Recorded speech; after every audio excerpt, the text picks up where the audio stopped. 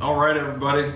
As you can see, this has really nothing to do with habitat. We're in the wrong place for that, but we are in my kitchen and we are going to bring you a sausage recipe today.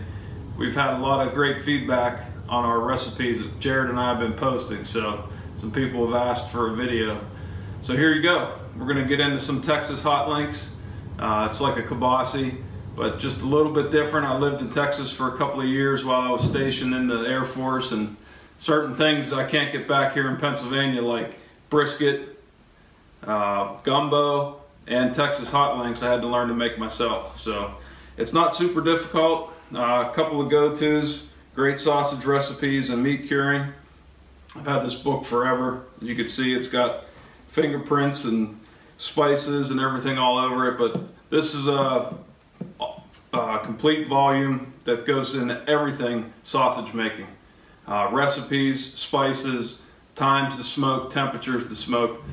If you can only get one book, get this one for sure. But I'd also recommend Charcuterie by Michael Ruhlman. Uh, some fantastic recipes and some different approaches in this one also. So I like to have both on hand. I've used them both for years, great results. Um, the only thing we're gonna need today, uh, I've already ground up five pounds of venison. I do these in five or 10 pound batches.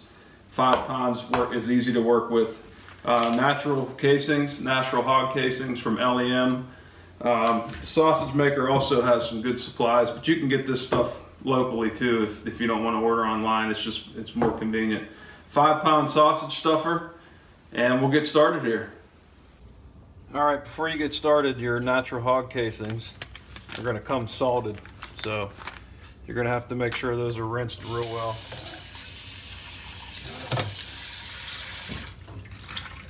I like to rinse them a bunch of times. Companies like LEM do a really good job of cleaning these and packaging them well so you don't get a lot of the smell and some of the uh, unpleasant stuff you might get from trying to get these yourself from a butcher shop, but you can do that too. I like to rinse them a bunch of times and then I just let them soak until I'm ready.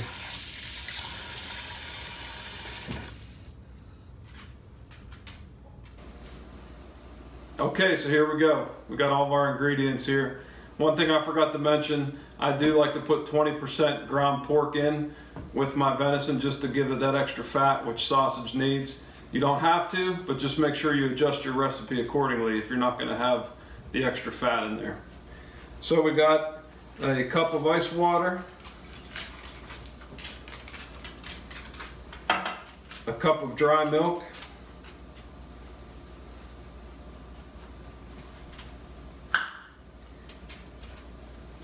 two and a half tablespoons of kosher salt.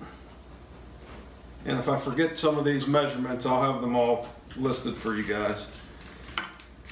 We've got some uh, sugar, pink salt.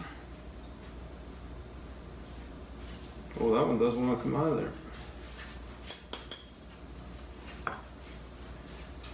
Black pepper,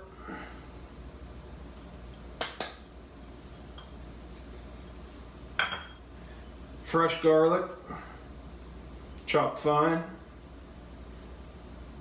Oh, it smells good. If you're a garlic fan. Marjoram. Don't know if I even ever pronounced that correctly, but that's the way I've always said it. And here's where we start, right there, that's basically a kibasi recipe. Here's where we start going into the Texas hot link a little bit. I got a mixture of cayenne pepper, chili powder, and sweet paprika. And again, I'll have all the measurements listed for you guys. And the dry mustard.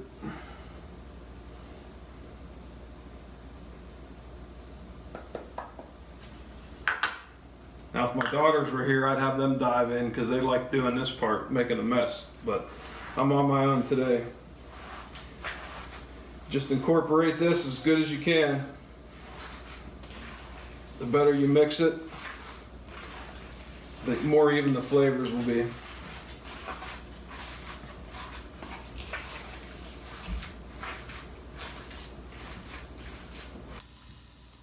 What you can do if you're not sure if you're doing a new recipe and you're not sure if the heat's strong enough or the seasonings are strong enough or too strong, you can just make like a little patty out of the uh, mixture and give it a quick cook in the pan. And that way you could taste how the finished product's going to be just from sampling it before you even go through all the trouble of stuffing and smoking it. So that's a good tip that I learned early on. All right, we're ready to stuff our five pound stuffer. Uh, another tip, put this in the freezer for a while while you're getting everything ready.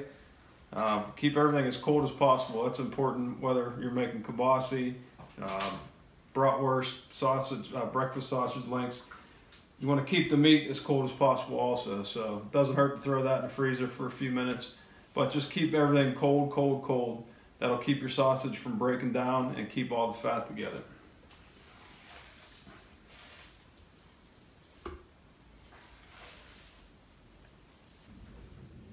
All right, when you're prepping your casings, make sure you take out enough so you don't have to stop what you're doing and go back and rinse some more.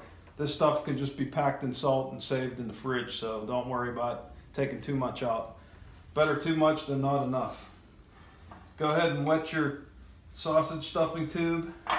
I like to wet the countertop too. It helps the casing slide a little bit. You can buy a fancy sausage pricker tool, but I just use little corn holders. It's got the two barbs on it, works perfect. Just take your casing, find the end, and slide it on there.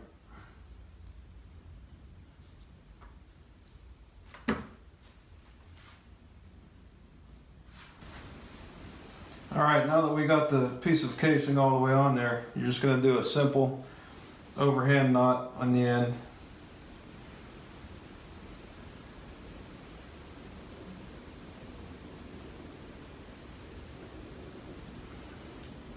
Pull that tight and go ahead and continue to pull that all the way to the end. And then just put a couple holes in there. You could even put a couple further down here. Just helps any air bubbles start not to get out of there when we start cranking. So we're ready to rock.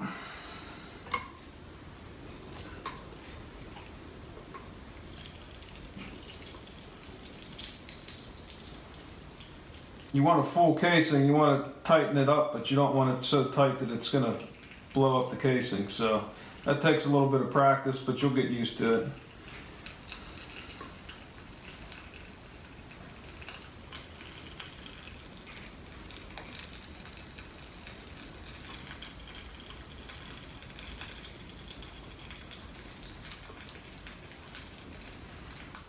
And every once in a while, just stop and poke some more holes in there and let all the air out.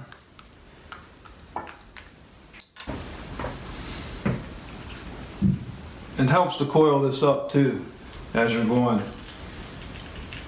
So you're not fighting the weight of the sausage.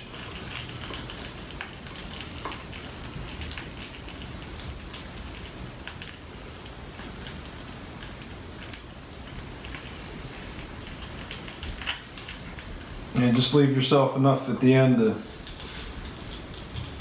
tie in a knot.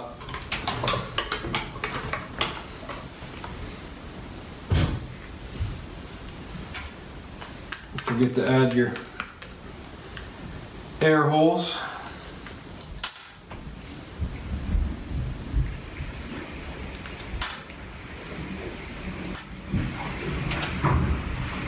couple holes in the end before you tie the knot keep the air from bubbling up in there.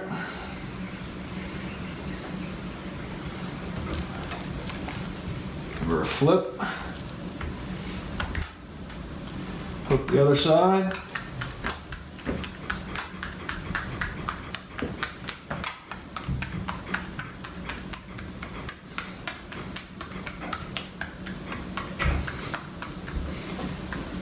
You're ready for the smoker. Now, of course, everybody's smoker is different. I like to hang mine on wooden rods, so you have to know the length of your opening so you're not touching the sides or touching the bottom of your smoker. So mine's about the length of this stuffer actually. So I just hang it down about that far.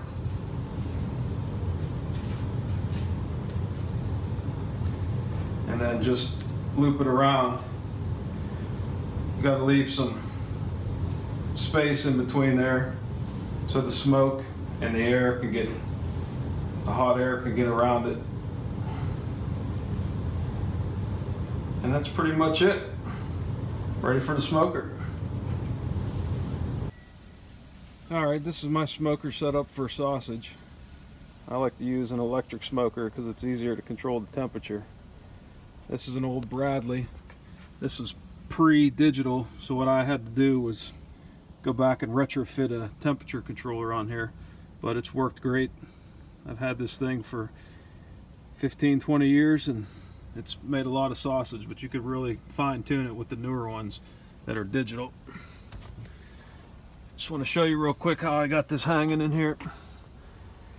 What you want to do is make sure it's not touching the sides or the bottom or each other. So you might have to move some stuff around a little bit.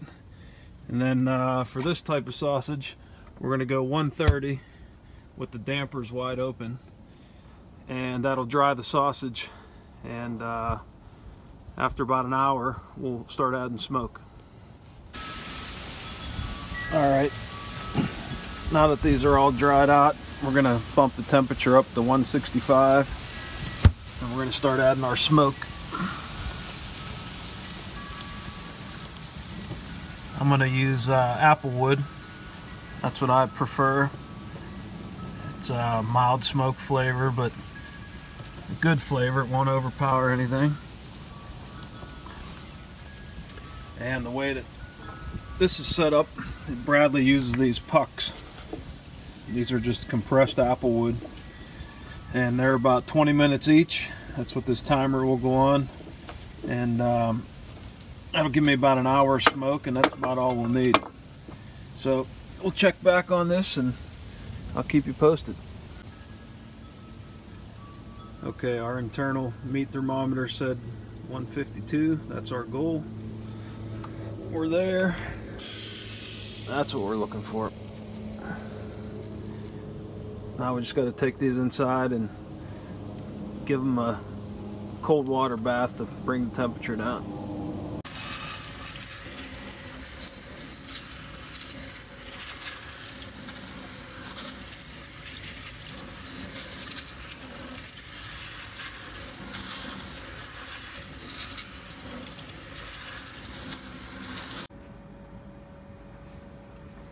All right, so after a few hours of investment, we got a big, beautiful pile of kibasi or hot links, whatever you want to call it. And I know I'm going to get some hate mail from the boys in Texas to say that that's not kibasi, it's hot link, but there's many different ways to do it. Uh, this is my version of it. And uh, let's give it a little taste.